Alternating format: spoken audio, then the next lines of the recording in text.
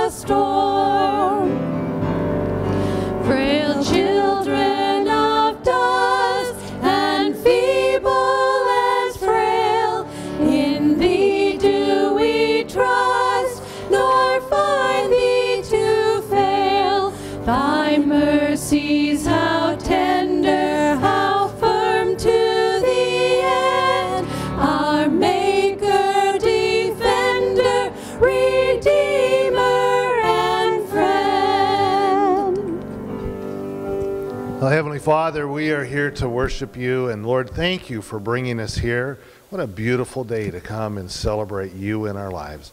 So, Lord, we'd ask a blessing upon this time in Jesus' name. Amen. Well, go ahead and have a seat. We got just a few announcements to make. If you uh, take a look at your bulletin, there's an insert, and it's the uh, missions report. And so you'll want to read through that and see what our church is doing in the ways of uh, missions. And then uh, in your bulletin, there's a little tear out piece. So I'd ask you to tear that out. Any prayer requests or change of address or new phone number, uh, put that on and, and put it in the offering bags at the end of service. Our shoebox ministry is going forward. We're going to be packing boxes towards the end of this month and getting those ready, and then we'll have them displayed up front here. And so uh, that's a great opportunity to be in a ministry that uh, our church fully supports. Uh, the life chain is today at 2 o'clock. We're going to meet behind um, um, Banner Bank in the parking lot there, and we'll have posters, an opportunity to go and stand on 395 and just pray for uh, sanctity of life and uh, that opportunity to uh, show support for the cause. And so we'll be um, out on 395 from 2.30 to 3.30, so come and join us for that. Um, if you look down on the scheduled events, you can kind of see what's what's going on in the life of the church.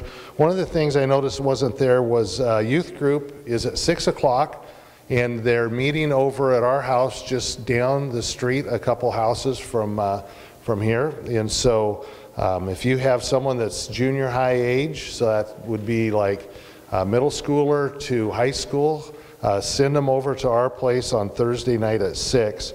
And then the women's group is going to start meeting. And Molly, where are you at?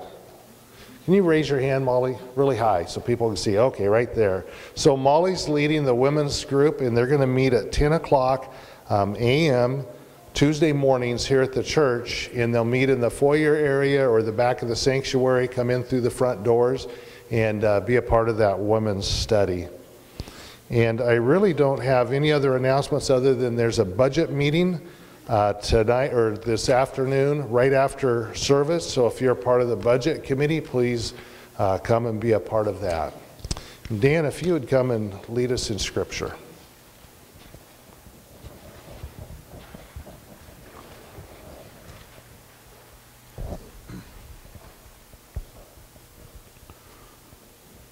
What was, were there two things? Two things to pray about? The boys and Good, morning, everyone. Uh, it is It is Sanctity of Life Sunday today. So uh, we have a, John's got a special message for us today, and it is the life chain today. And we're going to be reading out of Psalm 139. So I'm going to read the whole psalm. Uh, this is Psalm 139. O Lord, you have searched me and known me. You know when I sit down and when I rise up. You discern my thoughts from afar. You search out my path and my lying down and are acquainted with all my ways. Even before a word is on my tongue, behold, O Lord, you know it altogether. You hem me in behind and before, and you lay your hand upon me. Such knowledge is too wonderful for me. It is high, I cannot attain it. Where shall I go from your spirit, or where shall I flee from your presence?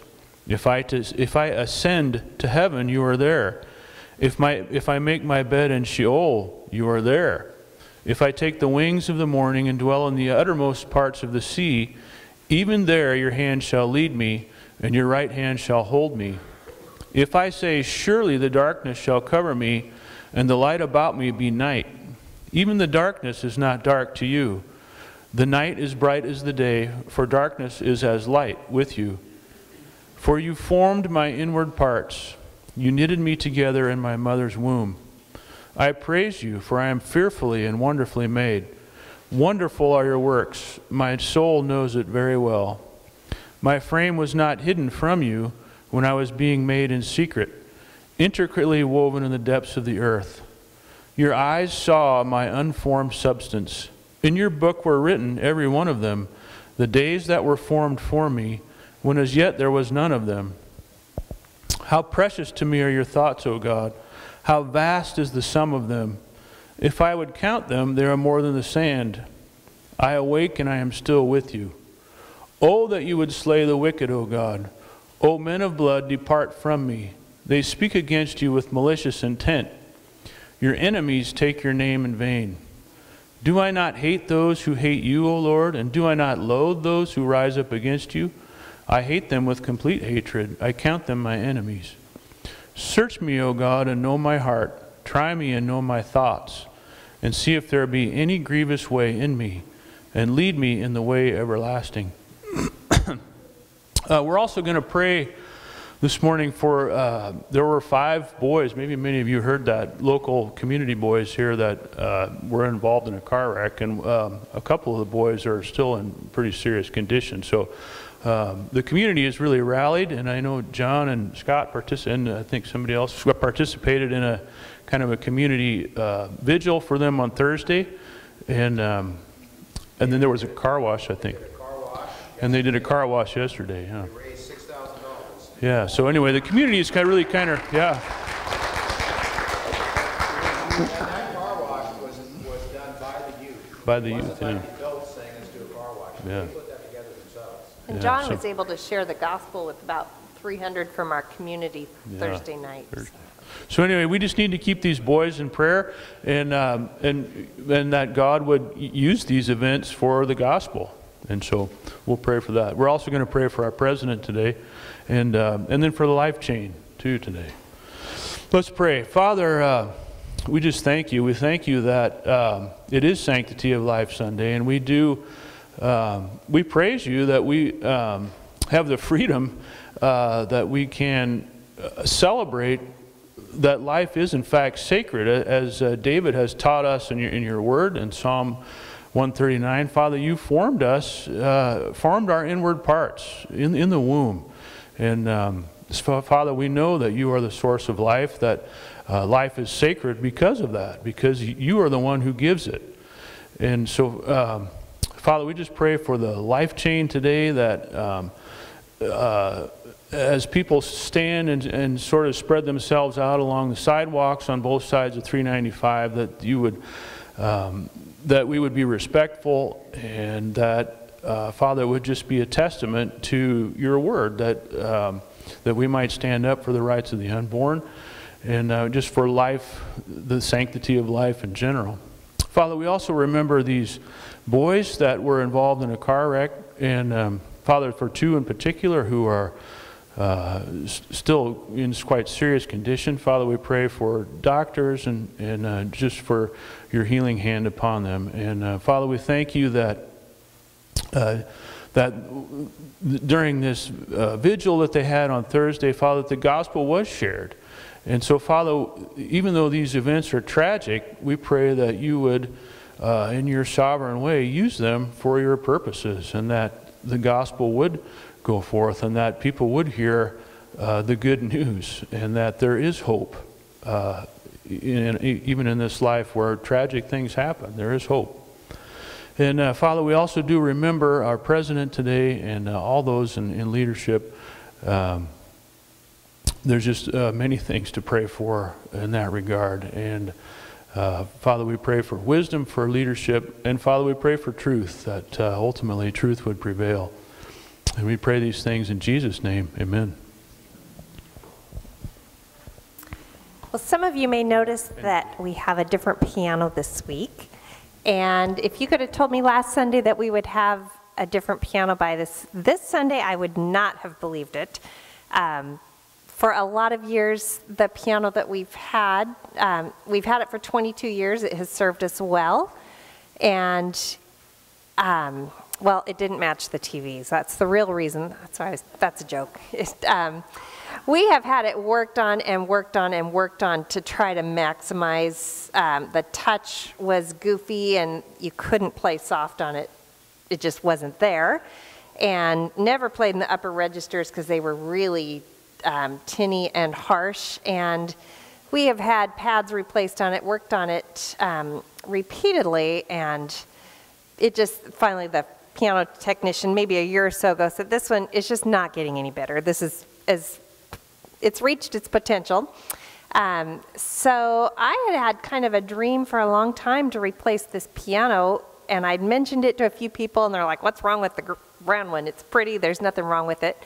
Um, until a few people over the last year or two have come up and said to me, "What on earth is wrong with that piano?" And so some hear it, some don't.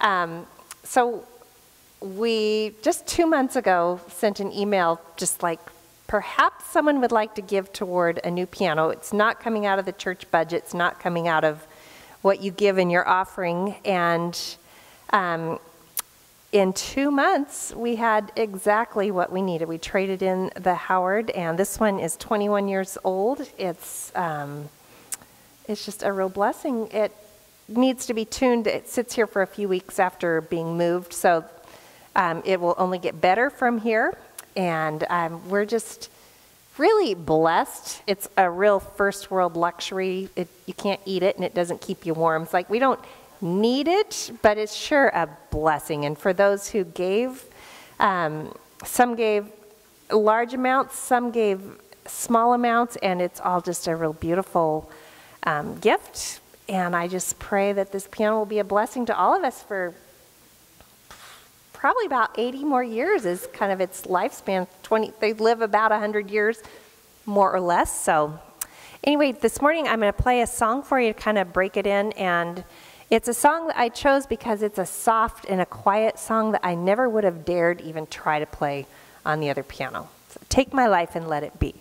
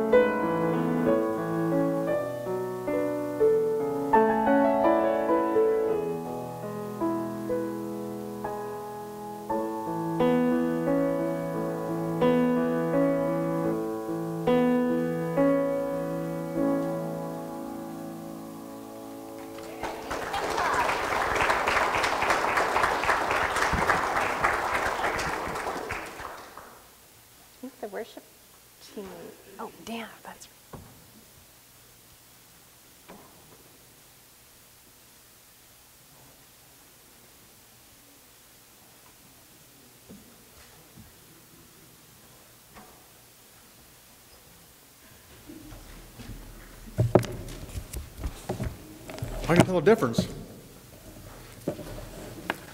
Well, today is a celebration of sanctity of life. I'd rather call it uh, right to life for the unborn. Gets more to the point of what we're facing today. So remember the scripture that uh, Dan just read about uh, God forming us in our inmost being and, and uh, in secret and so forth. There's a Chinese proverb that says, and I quote this from ta- uh, Table Talk magazine if you want to know what water is, don't ask the fish. The reason you don't ask the fish is because the water is a sum and substance of the world in which the fish is immersed. It does not ponder long enough to reflect on its own environment until suddenly it is thrust out onto dry land and struggling for life. Then it realizes what the water really was and what it provided for its substance. Well, that's kind of where we find ourselves today in the culture in this country. In the 60s, there was a change starting. We had revolutions in the colleges and so forth, Vietnam War and protests all over the place. It continued on 30 years ago, and then the last 10 years especially, lots of things have come to be an issue. So, so we are, in a sense, immersed in that environment and fail to take those ramifications seriously. So all of a sudden, we are thrust into this humanistic worldview in which we now live and we ponder where is it going and how did this happen? Whole denominations are facing divisions of some sort because of the struggles that's happening. Southern Baptist Convention is now battling between critical race theory. Should it be taught in seminaries, which is the liberals side of that denomination think they should, should be. And of course, the conservatives are against that. I foresee maybe a division coming on in that denomination, but who knows? Only God knows. So abortion is one of those issues. 55 years, 56 years ago in 1964, which is the same year I married my first wife, was when the famous Roe versus Wade ruling was passed making abortion legal. And now I find abortion as a, being a top topic in this year's presidential election. Primarily, most liberals are okay with abortion. Even there's a significant amount of conservatives, even in the church, are okay with abortion. We have become like the fish. So I'm going to share with you a very personal experience of what I went through in deciding about abortion. I have not shared this with anybody else except recently with my oldest daughter, and Gail has known this for some time. Our family in 1980 was my first wife, Margie, oldest daughter of 15 years, Sally. And at that time, we were enjoying uh, Sally's time in high school, attending all the band concerts, marching band parades, piano concerts, church youth group, and of course all the football and basketball games where she played in the pep band. So I was even enjoying some boyfriends that we invited, her friends, we invited over for after the games to have um, snack time and so forth and play games. So I was felt free to challenge them to ping pong, which of course I beat the socks off of them. Well, Saturday, one Saturday morning in January, and I was always in charge of fixing breakfast on Saturday mornings eggs of some sort, bacon, sausage, French toast, and lots of hot syrup, as my men's group on Wednesday mornings know. And my wife came downstairs and sat down. I could tell something was not quite right with her. And she suddenly announced, I have some news. A little bit of a pause. I'm pregnant. sort of like a bombshell, since that was not really planned to happen, although I knew that it certainly was a possibility. Well, a month went by, uh, went by, and Margie sat down with me one evening and told me she was bothered about something. And she had a talk with her gyne- gynecologist, and they discussed women who got pregnant later in life. At her age, there was a higher chance of having a child with Down syndrome and maybe some other abnormalities. And she was struggling with that because he gave her an option of abortion. And so I was thinking about that and really struggling with that. So up to that point, we were against abortion. But now we're faced with that situation of what do we do in the society that we're in? If Abortion was legal, so forth. And so I prayed to God that He would give us an answer. And it was a, it was a stressful time during that time. She had the doctor make an appointment at OHSU in Portland where they could would do an ultrasound and take a sample of the fluid in the embryonic sac, I assume.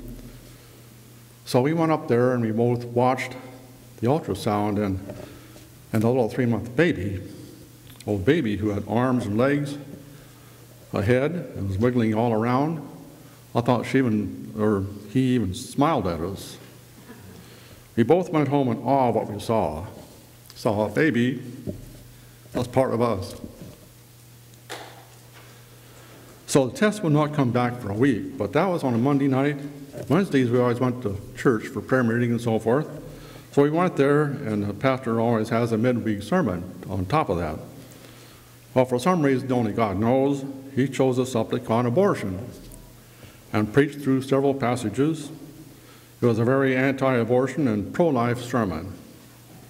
So he always gave his altar call at the end of his sermons. Uh, pertains to what he was preaching about. So we both got up immediately and walked up to the altar and knelt and prayed.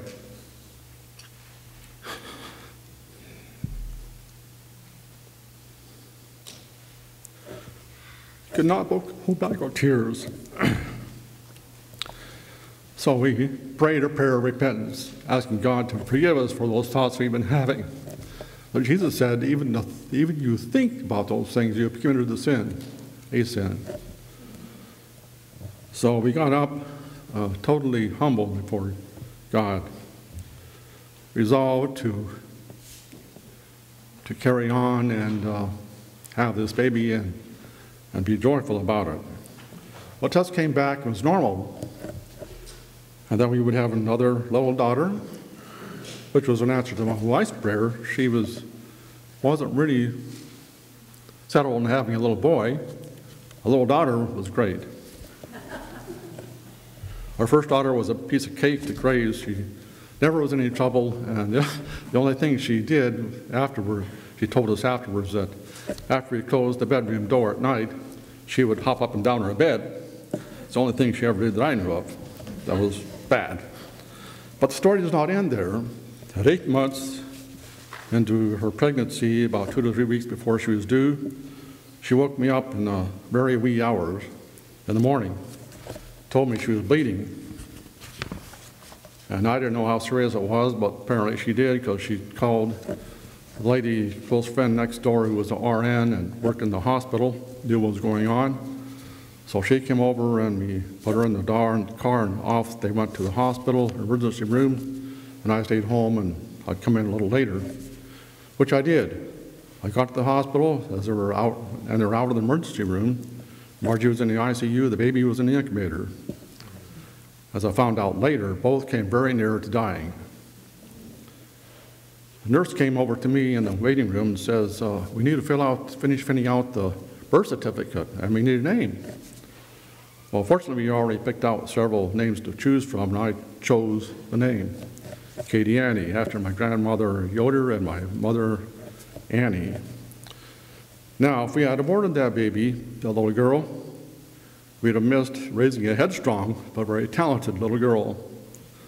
She played the piano at five years, composed several songs by the time she was eight, and then Margie died when Katie was eight years old. This is another story, but it's just a short version. I sent Katie to live with Sally and her husband. Sally became her mother figure, and then they moved on to Moscow, Russia for six years. She learned the Russian language, got straight A's all through school, and then on into college. She got, well, she got a full ride scholarship to U of O, and in college she got straight A's, even into her master's program in speech pathology and as a lead speech pathologist in the Eugene school system, teaches a couple of night classes that she developed for the master's program in speech pathology. That's where she's at today. So that's a pretty short version of, of my experience on abortion. It was a very traumatic time uh, through that time. So that's how I'm a very ardent supporter of the right to life for the unborn. Thank you.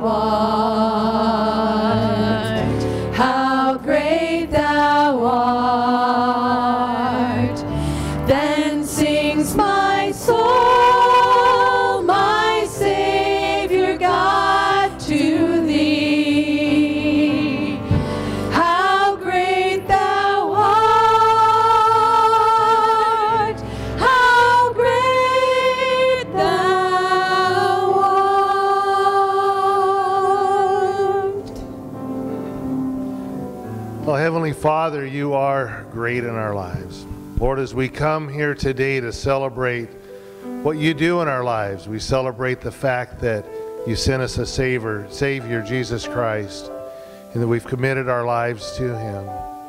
Lord, I'd ask that you'd speak to our hearts today through the Word as Pastor John uh, leads us in this time of worship, this time of reflection, this time of making commitment. Lord, that our hearts would be woken, that we would trust in you in all things. Things are hard, we'd see your hand working in those, and when things are good, we'd see your hand also. So, Lord, open our minds with your Spirit today through the Word, Lord, that we'd rejoice in you. I ask these things in Jesus' name. Amen.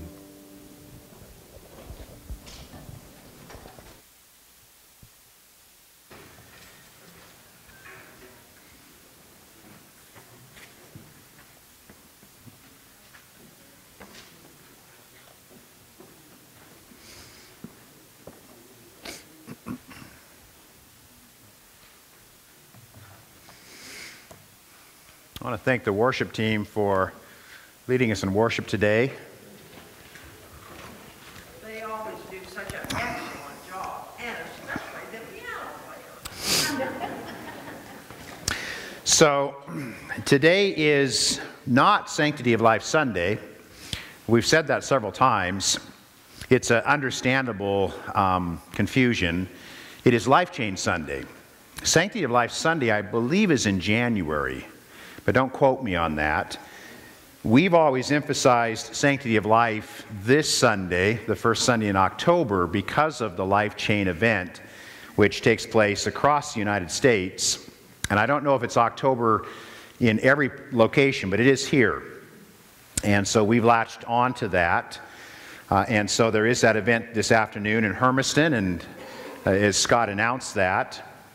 And um, So I have chosen to speak today on the sanctity of life. I'm going to do that in a manner that is quite different than normal. I'm not, I don't know that I would say what I'm going to do is preaching. I don't have a specific text, for instance. I'm, I, i am not exegeting a text and then applying it to our lives. What I'm going to do is more along the lines of a speech. I've never done this in 24 years uh, as the pastor here, and I don't recommend it as a, as a normal activity. But, you know, if you do it once every 24 years, I think it's okay. I'm going to read this to you. It's going to be shorter than normal because reading allows for precision uh, in a way that preaching sometimes uh, lacks. But also, reading means that you're not embellishing as much, and, and to read something through, um, you can do that more quickly. It's about, it's about nine pages uh, typed. I wrote this um, so that it could be published. I have no intention of trying to publish it, but, but that was the mindset in which I uh, went about doing this. And, and it is on the sanctity of life, but it's also related to the political issues that we find ourselves confronting at this moment. I'm not saying I'm going to read this word for word. I might embellish a bit, I, I might add a few thoughts, but I, I hope there's more light than heat in what I share with you today. Um, unlike a, a presidential debate that took place last week, which there was very little light and there was a great deal of heat. I'll be honest with you, I felt the losers in that were the American people who deserved better. They deserved a substantive debate, and, and that did not happen. Um, and I think both politicians are to blame for that, although I think our president uh, is more to blame than the, than, than the other side. So, um, I've entitled this Speaking for the Innocent Unborn. And so I begin. This nation is in the process of affirming a new Supreme Court justice as it anticipates a presidential election in one month. As we contemplate who we should vote for in this upcoming election, one of the issues that should be forefront in our minds is the importance of the Supreme Court. Elections have consequences, and the judiciary proves this. In four short years, President Trump has appointed three justices to the nine member Supreme Court. His most recent appointment, Amy Coney Barrett, is currently awaiting confirmation by the Judiciary Committee and then the full United States Senate. If recent history is any indication, think Brett, Brett Kavanaugh, the confirmation process will be highly partisan and brutal. Judge Barrett will be replacing Justice Ruth Bader Ginsburg, who died of complications from pancreatic cancer at the age of 87 and was known by her supporters as the notorious RBG. By all accounts, she was a consequential person.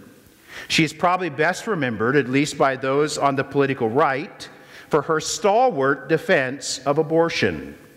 Her commitment to abortion was wrapped up in her understanding of feminism.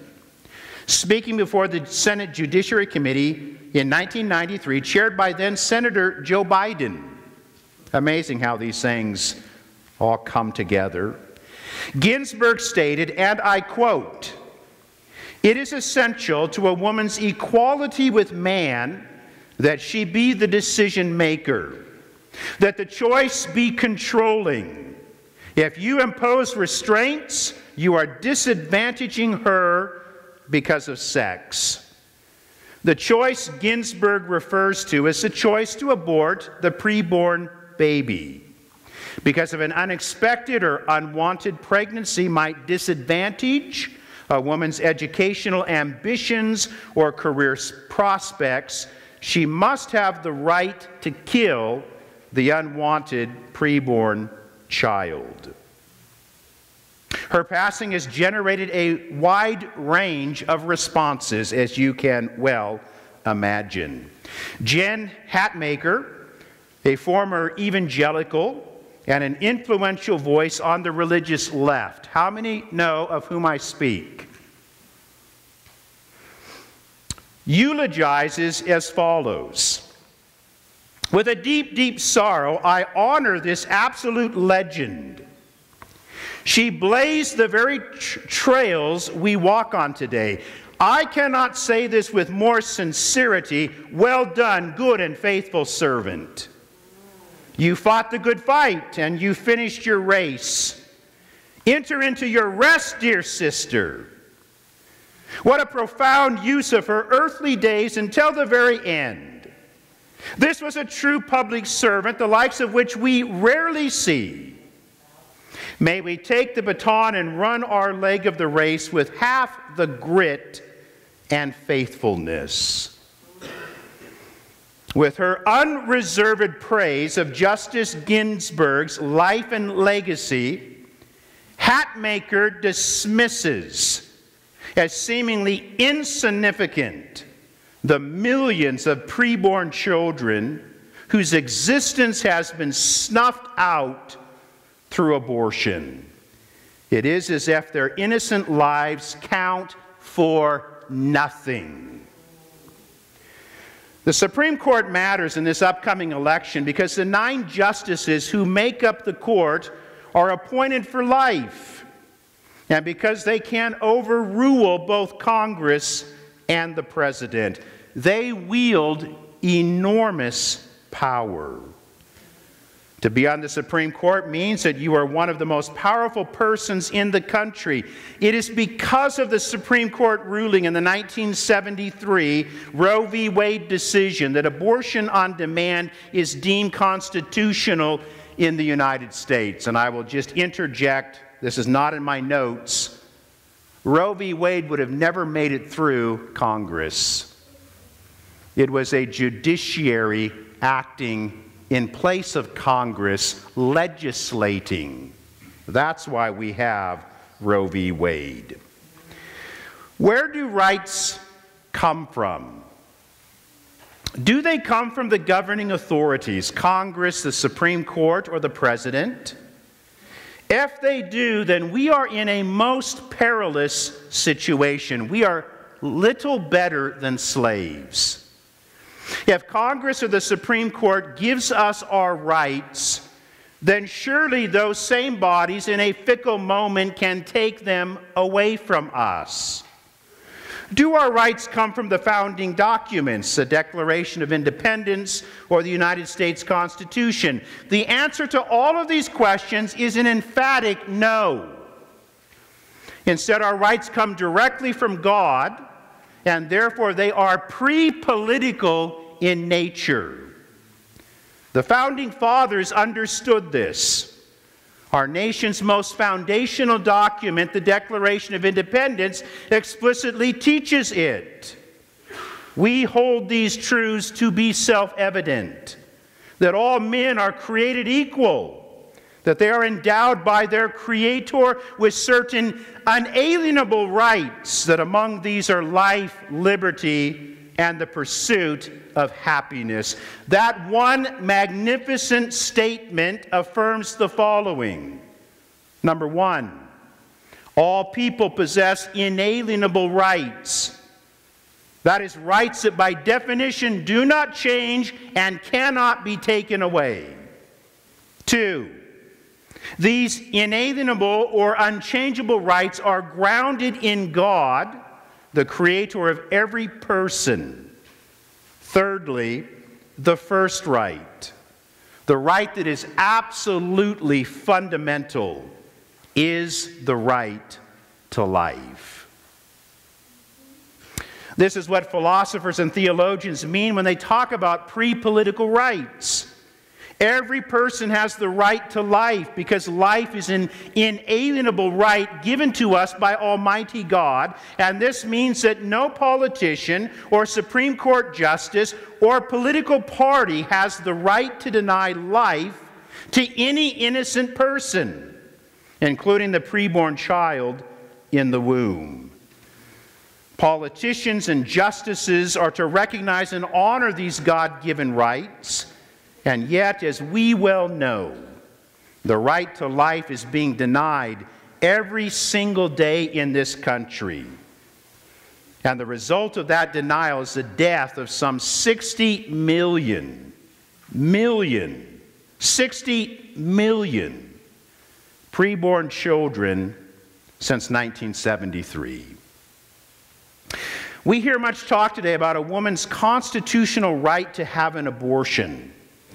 What happened in the 1973 Roe v. Wade decision is that seven of nine Supreme Court justices denied the preborn child of his or her God given right to life. In today's culture, the Bible is often dismissed as having little relevance to contemporary moral issues, in part because it contains antiquated laws that are no longer binding. Specific laws rooted in the Old Testament are strange to modern ears, and therefore the tendency is to reject the whole. The argument is often stated as follows The Bible is full of unusual, seemingly irrelevant laws, and therefore modern men and women cannot be expected to submit to its commands. Parents, be warned. Some of your own children undoubtedly think this way. It is vitally important to distinguish between two types of laws found in Scripture. Number one, laws flowing from God's nature. Number two, laws given by God for a specific time and purpose. Understanding this distinction, we should not be surprised that some Old Testament laws, having fulfilled their purpose, have been set aside. Laws rooted in God's moral nature cannot change or be abrogated because God's holy nature cannot change. This means that the moral law of God is binding forever. The words, Thou shalt not murder, are as true today as the day that God thundered them from Mount Sinai to the children of Israel in the Midianite wilderness. God has given us many rights, but He has never given anyone the right to kill the innocent unborn child. Instead, in Scripture, in Scripture, He speaks as follows Rescue those who are being taken away to death. Hold back those who are stumbling to the slaughter. If you say, Behold, we did not know this, does not he who weighs the heart perceive it? Does not he who keep watch over your soul know it? And will he not repay man according to his works? Proverbs 24, 11 and 12. We do not make the law of God, and we are in no position to sit in judgment over it. We are called to submit to it.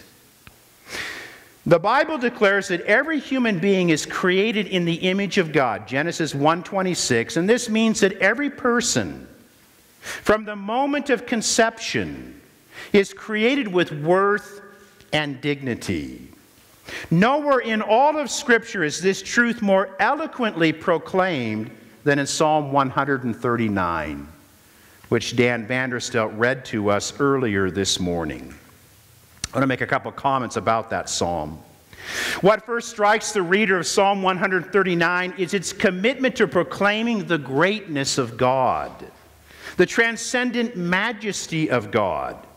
The psalmist extols the majesty of God, and this causes the reader to exclaim, at least if our hearts are attuned with Bible, with Scripture, if we're listening to the Word of God speak to us, our hearts respond to that psalm this way What a great God we have! There's no one like him. This God provokes the psalmist, the psalmist to marvel Where shall I go from your spirit? Or where shall I flee from your presence? If I ascend to heaven, you are there. If I make my bed in Sheol, you are there also. If I take the wings of the morning and dwell in the uttermost parts of the sea, even there your hand shall lead me. In these verses, the psalmist affirms the omnipresence of God or the infinity of God, the idea that God is present everywhere. And not simply present everywhere, He's present in fullness everywhere. There is no place where God is not. This means that God is present inside every Planned Parenthood abortion clinic, fully aware of what is secretly being done there. But there is more, much more. Not only does the psalmist affirm the transcendent of God, he's also filled with wonder as he contemplates God's active relationship with his creatures. This great transcendent God is also the God who forms life in the hidden place of the womb. So, on the one hand, God is fierce and mighty. He is independent. He is authority. He is the king. And yet, on the other hand, He is near. He is tender. He is compassionate. He is gentle.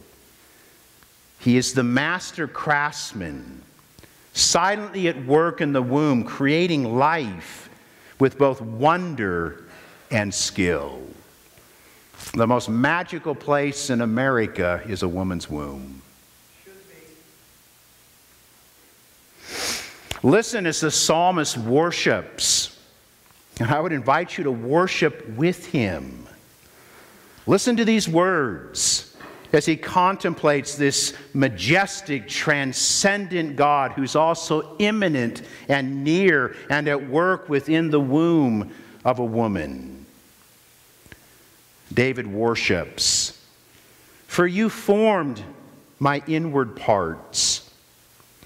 You knitted me together in my mother's womb. I praise you, for I am fearfully and wonderfully made. Wonderful are your works. My soul knows it very well. My frame was not hidden from you when I was made in secret, intricately woven in the depths of the earth. The word earth here is being used as a metaphor for the womb. You plant a seed into the earth, and it's amazing how it grows and it flowers and it's beautiful.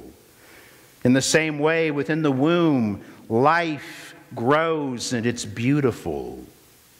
Your eyes saw my unformed substance. In your book were written, every one of them, the days that were formed for me, when as yet there was none of them. How precious to me are your thoughts, O God! How vast is the sum of them! If I could count them, they are more than the sand. I awake, and I am still with you. You see, this text teaches that God is the divine life giving artist within the womb. If I were to exegete that passage, I would tell you that the Hebrew here is beautiful. It speaks of the language of knitting or crafting or tatting, of embroidery work. As God is viewed here as a master creator, a craftsman. Let me read you the words of an Old Testament scholar by the name of Ron Allen. Commenting on Psalm 139, he writes The Bible never speaks of fetal life as mere chemical activity, cellular growth, or vague force. Rather, the fetus. Now, I'll just interject this thought. The word fetus, you know what it means? Historically, classically, it means young one. That's all it means. It means young one, as in young developing child. Rather, the fetus, the young one, in the mother's womb is described by the psalmist in vivid pictorial language as being shaped, fashioned, molded, woven together by the personal activity of God. That is, is God formed man from the dust of the ground, so he is actively involved in fashioning the fetus, the baby, in the womb. It's an amazing thought, isn't it? It's an extraordinary thought to realize that God is found in fullness in that place, and He's there creating, and it's wondrous. Understanding the times in which we live, a troubling malaise has settled upon this country. People today, especially young people, need to be awakened to the promise of America. Despite all of her flaws, the United States is an exceptional nation. And what makes it exceptional is the hope and the promise of her founding documents, with their emphasis upon God given pre political rights. Today, the focus, both in the mainstream media and in academia, is almost exclusively upon the nation's faults. The message being that America should be ashamed, that as Americans, we should be ashamed to be Americans. Many are convinced that the whole system needs to be burned to the ground. If you look at our history, slavery and its legacy are the nation's greatest blemishes. It is, of course, not a uniquely American blemish. Historians tell us that up to 50% of people living in the Roman Empire were slaves. The British Empire abolished the slave trade in 1807 and in 1834 ended slavery throughout the empire, largely through the influence of one evangelical Christian MP by the name of William Wilberforce. Have you heard of him before? You need to know about William Wilberforce. He is a hero. Gave his life to that one cause and was driven to do so because of his deep Christian convictions. The United States fought a great civil war to bring slavery to an end, a war that resulted in over 600,000 deaths. And while it is true that the North went to war to preserve the Union, it is equally true that slavery was the cause of that war and that the war brought about slavery's destruction. You see, what we so often fail to recognize is that the seeds of slavery's destruction were sown into our founding documents. Again, we hold these truths to be self evident that all men are created equal. The founding fathers, some of whom, like Thomas Jefferson, were slave owners, planted these seeds, and in time they bore fruit. The seeds of abortion's destruction are also embedded in these same documents.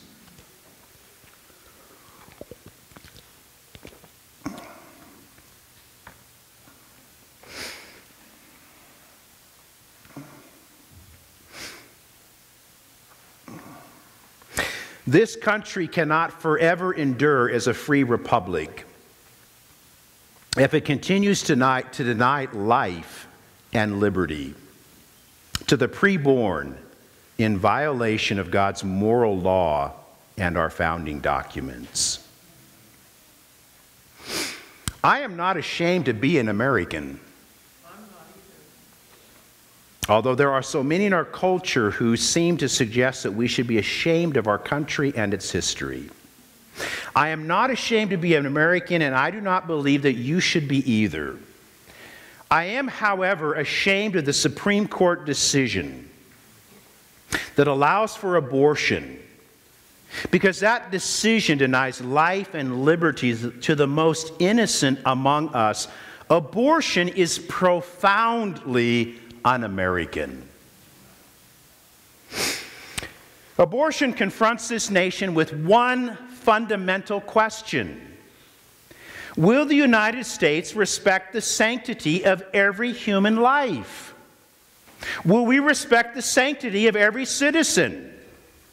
On this issue, the stakes are high, and the differences between the two political parties could not be clearer.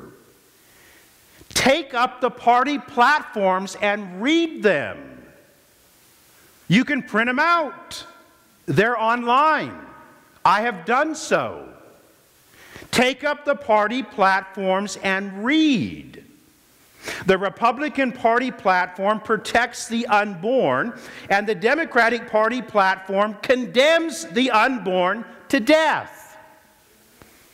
I don't think that's a statement with very much heat in it. I think it's a statement with a lot of light in it. What I have said is factually true. The two party platforms on this point could not be farther apart. One of them protects life, the other condemns life. The difference is stark. Republicans nominate people like Amy Coney Barrett to serve on the Supreme Court, and Democrats nominate people like Ruth Bader Ginsburg. Some would say we should never talk about politics. But this is so much bigger than politics. This is about the fundamental right of every person in this country to be respected and to have life. To not have his or her life simply snuffed out, erased as if it doesn't even matter.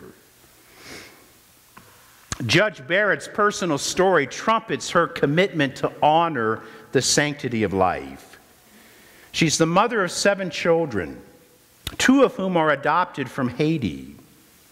Her youngest biological child, Benjamin, has Down syndrome. I want to read you the words of Jim Daly. He writes of this woman and her background and her experience. At the very same time that the Barretts learned of Benjamin's prenatal diagnosis, they were told that the adoption of John Peter, which they thought was off, was actually back on. Now, if you've done international adoption, as I have, you know the truth of that statement. It was off and now it's back on. So now there's a Down syndrome child on the way, plus the whole issue of bringing a child from Haiti into one's home. The tragic Haitian earthquake of 2010 had exacerbated an already difficult humanitarian crisis. Did they still want to pursue the adoption? Needing to decide, Judge Barrett, then a university professor, walked to the cemetery on the Notre Dame campus on a cold winter's day, where she sat on a bench pondering and praying.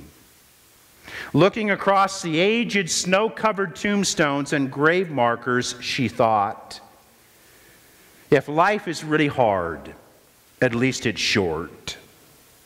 It was then that she was overwhelmed with a convicting thought What greater thing can you do than raise children?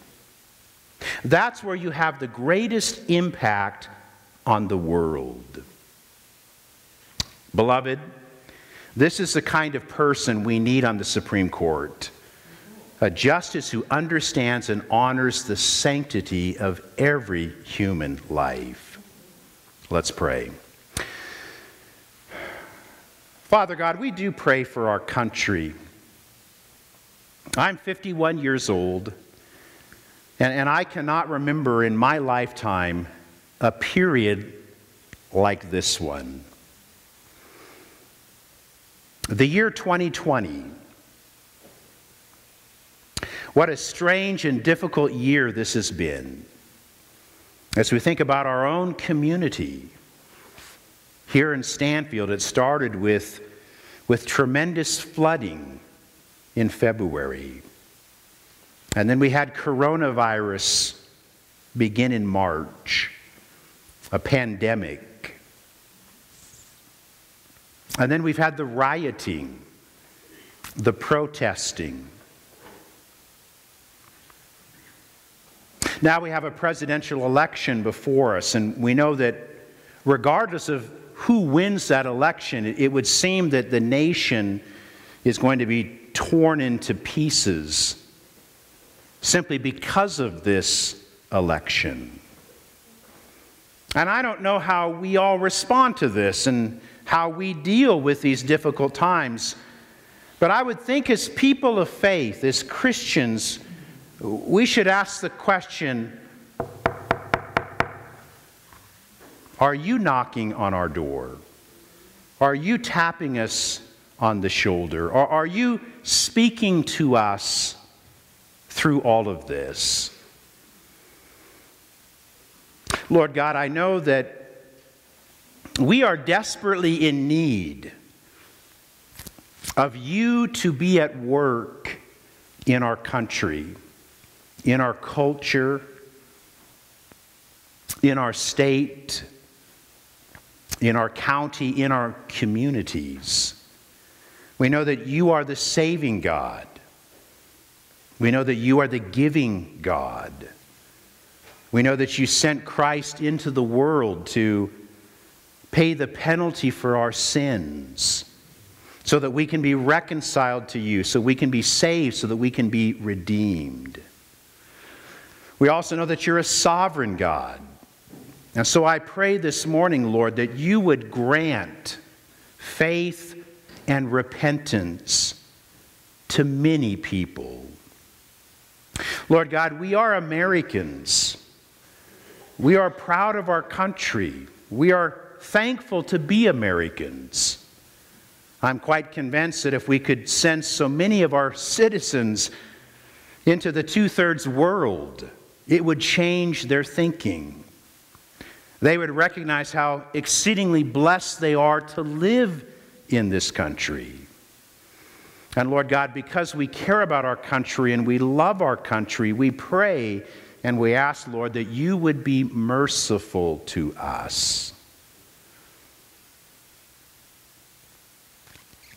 So we commit all of this to you. And we do take great peace and great comfort in knowing that your sovereignty extends over all of these events. This we pray in Jesus' name. Amen. I've chosen what for me is a very unusual song for us to sing next. Um, I'll speak for just a moment on this. One area where I can get myself in a lot of trouble is that I am averse to mixing together patriotism and church. I'm not comfortable with it. I don't think that that is a wise thing to do. I am a patriotic American, but I believe patriotism, for the most part, needs to be outside the walls of this building. Not all of you agree with me on that. I know that, and we've had some discussions about that. We are singing a song today that is more in that patriotic vein. Um, what is it called? My Country Tis of Thee. There's words in this song that I think are relevant to us. Let's sing this today. Would you please stand as we sing our closing song?